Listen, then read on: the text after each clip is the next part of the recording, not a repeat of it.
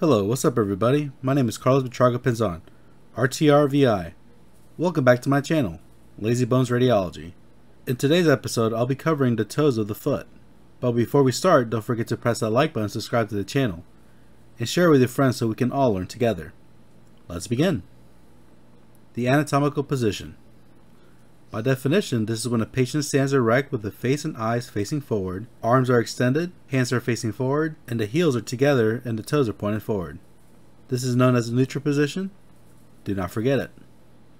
The following definitions were gathered from Merrill's Atlas of Radiographic Positioning and Procedures.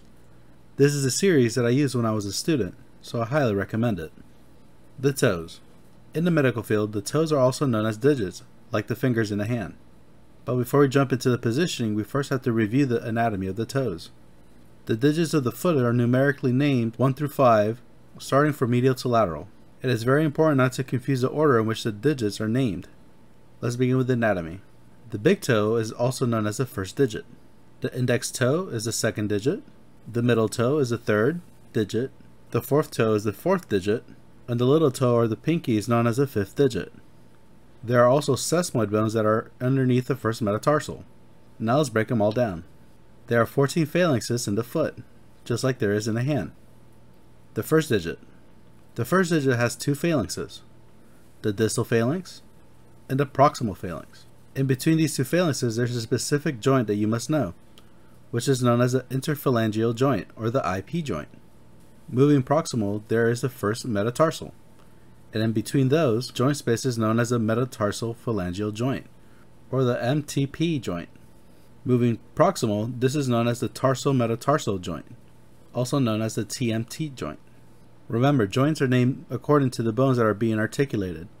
So if you're having a brain fart, just remember your anatomy. Now let's move on to the second through fifth digits. Just like in the hand, the second through fifth digits have three phalanxes. The distal phalanx, the middle phalanx, and the proximal phalanx. Within these phalanxes, there are specific joints that you must know. The distal interphalangeal joint, also known as the dip joint, and the proximal interphalangeal joint, also known as the pip joint. Next we have the metatarsals, and in between them we have the metatarsal phalangeal joint, or the MTP joint. Remember, joints are named according to the bones that are being articulated with. So if you forget, just remember your anatomy. Please make sure that you review and be knowledgeable with all the anatomy because knowing your anatomy is very important for the positioning. Let's begin. AP and AP axial projection. Position of the patient is seated or supine. Position of the part. Foot is placed plantar side down and the toes are against IR. Central ray is perpendicular to the MTP joint of the digit of interest, or your central ray can be perpendicular to the third MTP joint if you want to see all the digits or toes at the same time. A 15 degree cephalic angle can be used to visualize the digits joint spaces. The 15 degree cephalic angulation is what I use when I take images of the toes. The foot can also be elevated 15 degrees with a perpendicular central ray to open up the joint spaces as well. Make sure to collimate the entire digit of interest in the field, including the distal part of the metatarsal bone, for the specific digit, or you can collimate all the digits approximately 1 inch around all the sides of the toes, including the distal part of the metatarsals, if you want to see all the digits at once. This depends on the doctor and also the protocol in your clinical setting.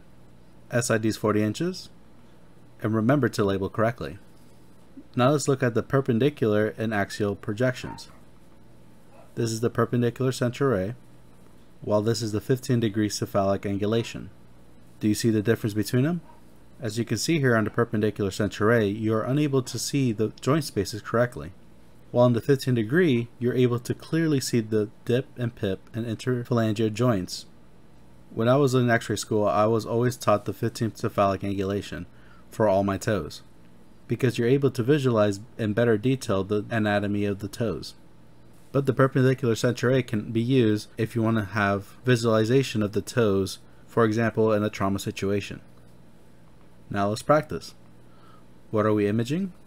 This is an image of all the toes of the right foot. What is a projection? This is an AP axial projection. What is the position of the part? The digits are neutral. Now let's practice our anatomy. The distal phalanx, middle phalanx, proximal phalanx, the dip or the distal interphalangeal joint, the PIP or the proximal interphalangeal joint, the IP joint or the interphalangeal joint. Next is your metatarsal, or to be more specific, the third metatarsal, the MTP joint or the metatarsal phalangeal joint, and lastly the sesamoid bones. Now let's move on to the PA projection. The position of the patient is prone. Position of the part, foot is placed dorsal side down, and the digits are against the IR.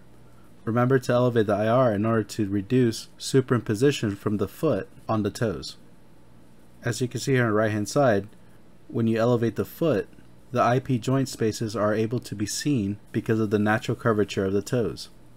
Centroid perpendicular to the third MTP joint or the MTP joint of the digit of interest, depending on the protocol. Make sure to collimate all the digits or the digit of interest in the field, including the distal part of the metatarsal bones. SID is 40 inches, and remember to label correctly. Now let's practice. What are we imaging? This is an image of all the toes of the left foot. What is the projection? This is a PA projection. What is the position of the part? Dorsal region of the foot is against the IR. Now let's practice your anatomy.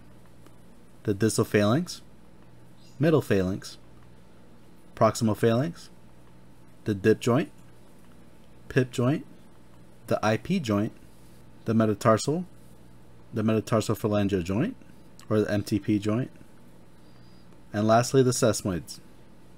As you can see here on this picture, a 15 degree angulation was not necessary because of the natural curvature of the toes. You're able to see all the joint spaces clearly. Next is your AP oblique projection.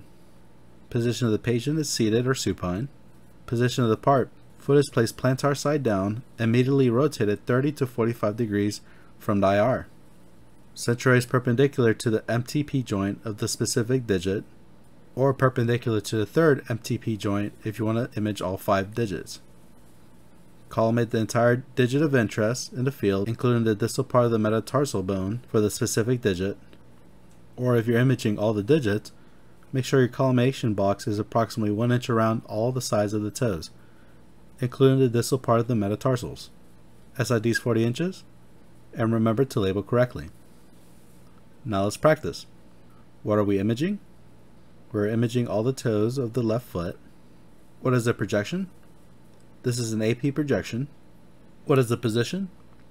Foot is placed plantar side down, immediately rotated. Now let's practice your anatomy. Distal phalanx, medial phalanx, proximal phalanx, the distal interphalangeal joint, the proximal interphalangeal joint, the metatarsal, the metatarsal phalangeal joint, and finally the sesamoids. Lastly, the lateral projection, lateral medial or medial lateral projections. Position of the patient, lateral recumbent. Position of the part, foot is placed lateral with the digit of interest extended while the other digits are flexed or folded on the foot. To prevent any type of superimposition from the other toes, use tape, gauze, or popsicle sticks. Centroid is perpendicular to the pip joint of the digit of interest if you're talking about the second through fifth digit, and the IP joint if you're talking about the great toe, as you can see here on the right hand side. Here's a better illustration of the great toe and the centroid at the interphalangeal joint of the great toe. And here's examples of using a popsicle stick in order to remove the superimposition from the toe of interest. Remember, it's very important not to force your patient in order to get an image. Work with your patient in order to get the best image as possible. Collimation entire digit of interest in the field, including the distal part of the metacarpal bones. My example here on the right hand side is not very good because the other digits are superimposing, but you understand what I'm trying to say. SID is 40 inches, and remember to label correctly. Here are some examples. As you can see on the right hand side, this is the second digit in profile, while on the left hand side is a great toe, or the first digit. Make sure to isolate the digit of interest and remove the other digits out of the way in order to have a diagnosable image. Now let's practice. What are we imaging? This is the first digit. What is the projection? This is a medial lateral projection. What is the position? The foot is placed laterally, and the digit is extended. Now let's practice your anatomy.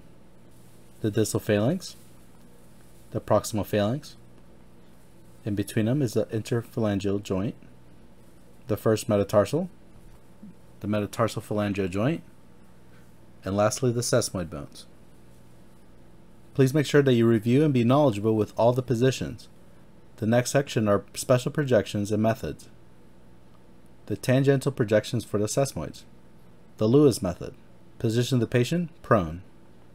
Position of the part, the great toe is hyperextended or dorsal flexed, and adjust the heel of the foot in order to be perpendicular with the horizontal plane, as you can see here on the right hand side. Make sure to hyperextend the toe and the perpendicular heel to move the soft tissue of the foot from obstructing the sesamoid bone, the first digit. As you can see here, this is a bad example, and do not do this. Incorrect positioning will obstruct the sesamoid bones. Central ray is perpendicular and tangential to the first metatarsal phalangeal joint. Make sure to collimate the entire metatarsal head and profile and both of the sesamoid bones.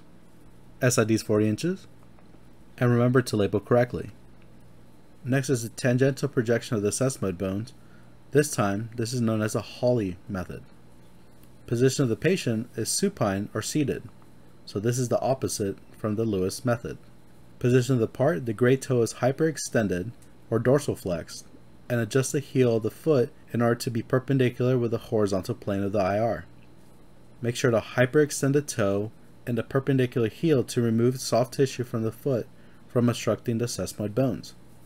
Central ray is exactly like the other one, perpendicular and tangential to the first MTP joint. Collimate the first metatarsal head and profile and both of the sesamoid bones. SID is 40 inches. And remember to label correctly. Now let's look at the Lewis method and the Holly method. As you can see here, the sesamoid bones are both in profile.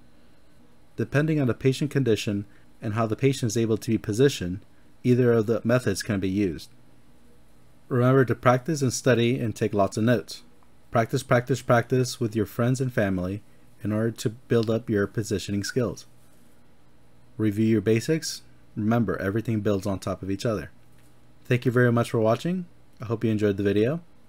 Don't forget to press that like button, subscribe to the channel, and share with your friends so we can all learn together. You can also follow me on Instagram at lazybones underscore and also on Twitter at lazybonesradio1. Thank you very much. Have a great day.